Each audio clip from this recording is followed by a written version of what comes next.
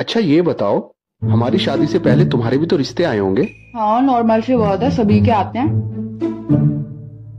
अरे भाई साहब मेरे तो बहुत दूर दूर से रिश्ते आते थे बहुत दूर दूर से। हाँ, हाँ, और नज़दीक वाले तो तुम्हारे लक्षण पहले से ही जानते होंगे। और तुमने फसाया भी तो दूर वालों को ही था।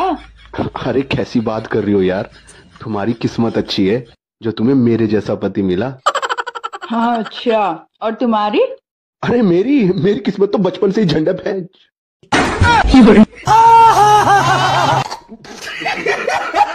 अरे तुम्हें याद है वो मेरी मौसी का लड़का शिवम? हम्म, उसकी शादी हुई है। हाँ वो मरियल सा। पता उसे कितनी सुंदर बीवी मिली है? देखोगे ना तो देखते रह जाओगे। हाँ तुम मुझे बहुत देखने दोगी।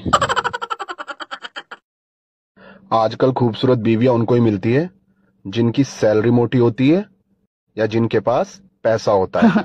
अरे नहीं यार ऐसा भी कुछ नहीं है। जब हमारी शादी हुई थी तब भी तो तुम्हारी सैलरी कम थी पर मैं मिली ही ना तुम्हें।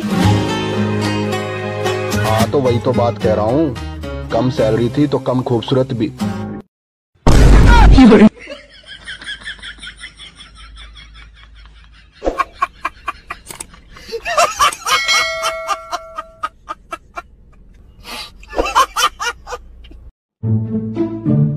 सुनो यार हम्म, मेरे बुआ की बेटे की शादी हुई थी ना भी कुछ टाइम पहले। हम्म, देखना लड़की कितनी सुंदर है।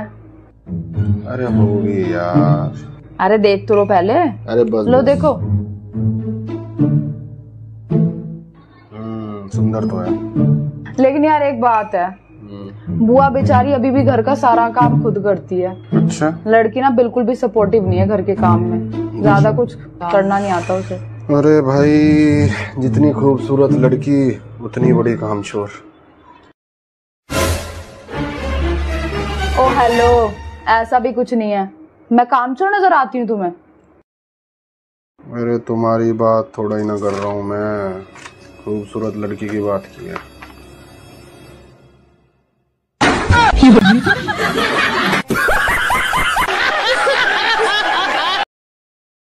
पता है लोग ना आलसी नहीं होते हैं। उनके पास ना यार एक मोटिवेशन नहीं होता है। प्रेरणा नहीं होती है मतलब लक्ष्य नहीं होता है। हाँ। लोगों का छोड़ो तुम अपना देखो। तुम्हारे तो दो दो प्रेरणा के स्रोत हैं तुम्हारे दो बच्चे। तुम क्यों हो इतने आलसी? तुम हर चीज़ घुमा फिरा के मेरे तक ही लानी क्यों होती है। सारी बढ़ास निकालने के लिए तुम्हें मैं ही मिलाऊं क्या ये? हाँ तुम ही मिले हो। लाखों में एक एक नंबर के आलसी। बिना टूथब्रश के नाश्ता करने वाले। साफ़ सफ़ाई का बिल्कुल ध्यान नहीं रखने वाले।